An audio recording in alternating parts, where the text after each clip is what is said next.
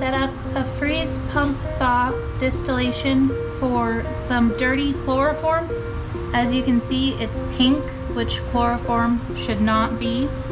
This chloroform happens to be the deuterated chloroform that the, the 410 lab has been using to run the NMR experiments in and I'm going to use a freeze pump thaw distillation to clean it up. This chloroform has been sitting in a Schlenk flask with calcium hydride as a drying agent and stirring overnight. I used calcium hydride to suck up some water and to hopefully keep some of that pink color in the original flask so that I can distill clean um, deuterated chloroform into the receiving flask through this distillation bridge using liquid nitrogen and our Schlenk line set up here. So I have this Schlenk line attached to the chloroform flask, but it is not pumping down yet because if it were, the deuterated chloroform would just be evacuated away. I have to first freeze the deuterated chloroform and I will do that with liquid nitrogen. So I'll set up one of my big Dewars underneath here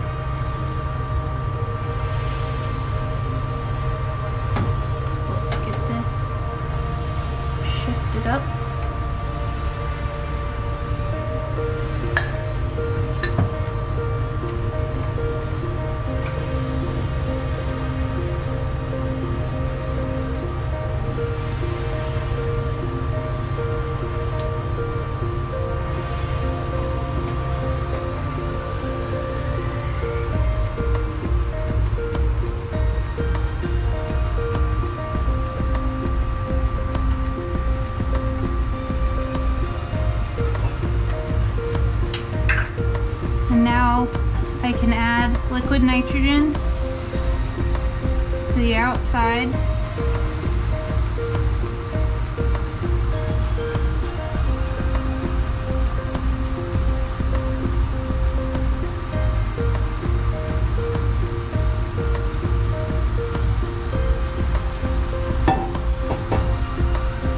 I want it to be about level with the chloroform in my flask.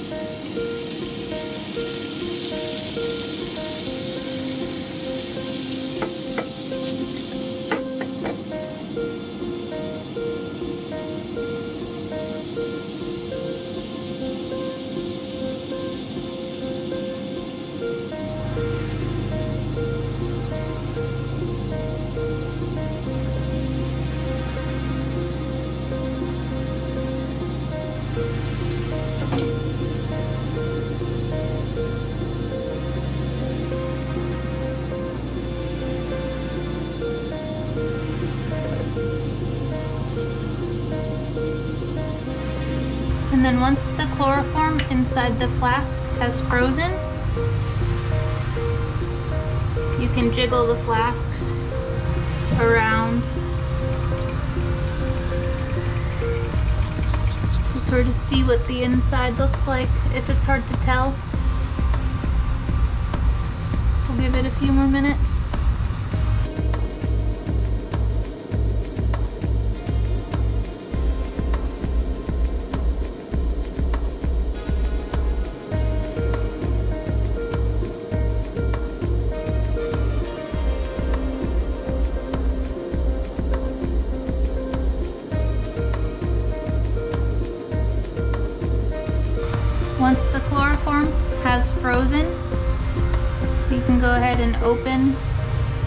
The flask to vacuum. And that will remove the air inside without evaporating the deuterated chloroform. We will want to keep this nice and full with liquid nitrogen.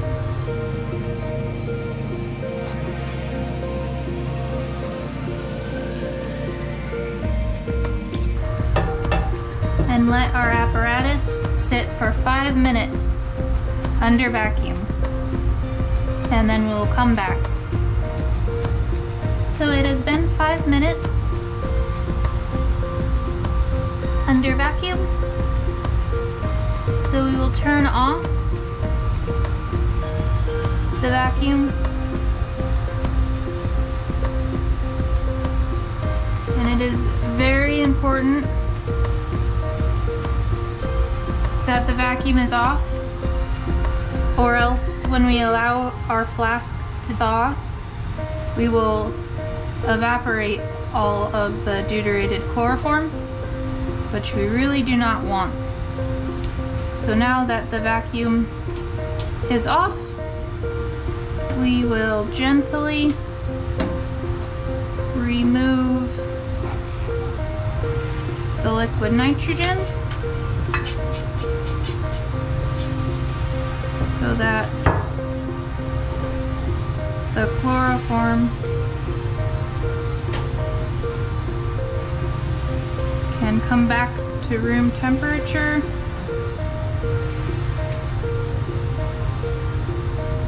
And release more dissolved gases into the now evacuated system for us to evacuate again later. So the goal here is to remove dissolved gases from the chloroform and any gas in the system so that once our system is purged of gases, I'll be able to fill up the little Dewar with liquid nitrogen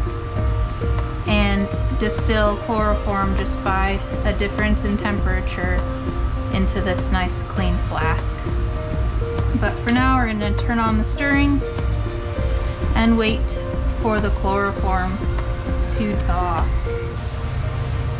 So this will usually take a while um, so I will come back later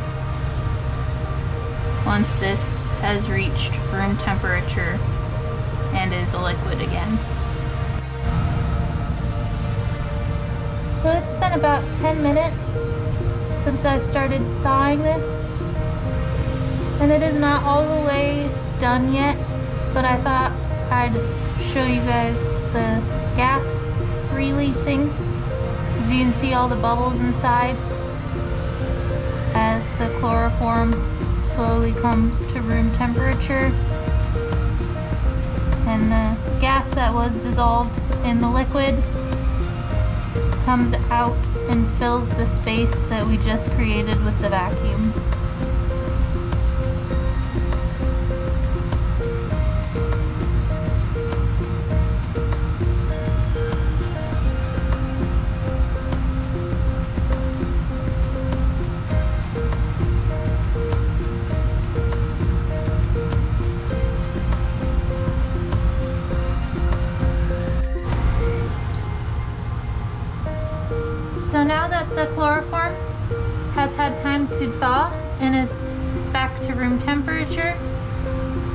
See it's a nice liquid.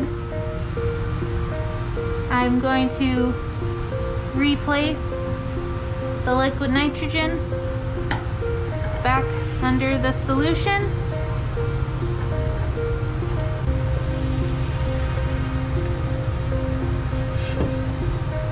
and allow it to freeze again.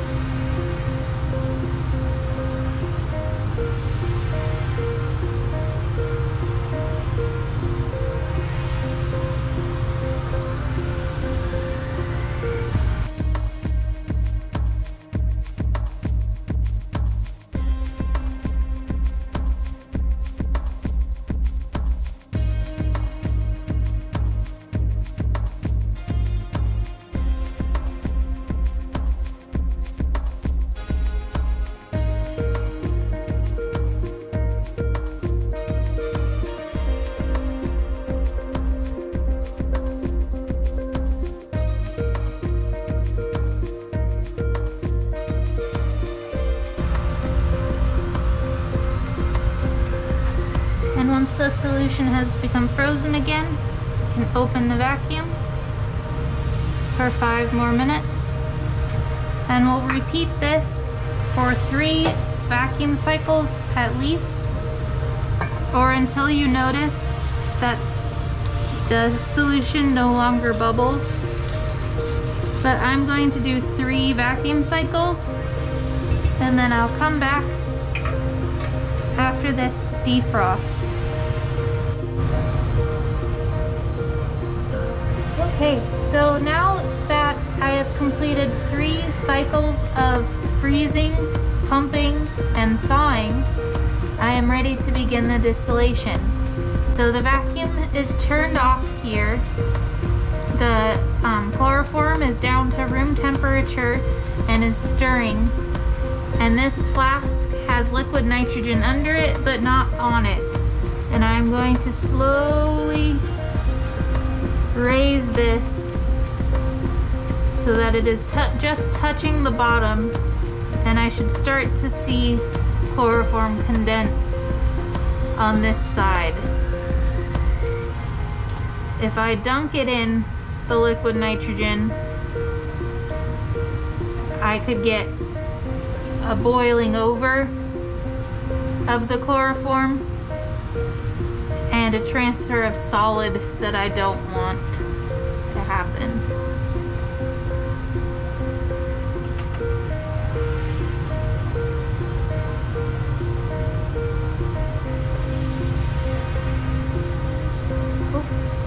So as you can see, our chloroform is starting to boil. So I want to make sure that that doesn't get out of hand. And over here it is starting to condense. I don't know if you can see that in the camera very well.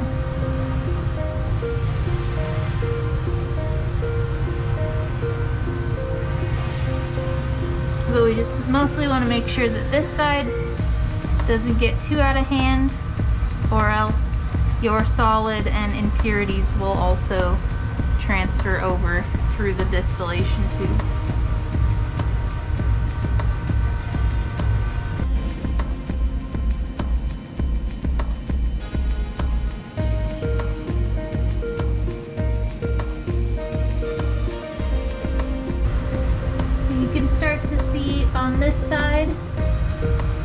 Chloroform is freezing in the bottom, which is good.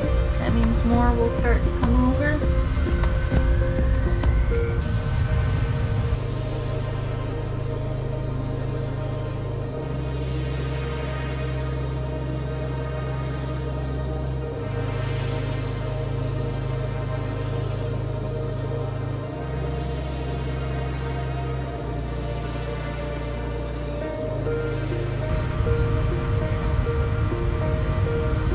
If your chloroform had not, or if your solvent or um, distillate had not started to condense in the receiving flask when the nitrogen was put under the bottom, that usually means you did not repeat enough vacuum cycles.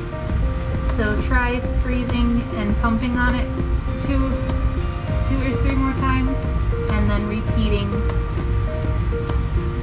addition of nitrogen, liquid nitrogen to the bottom of the receiving flask and it should condense. If that still doesn't work, you probably have a leak in the system somewhere.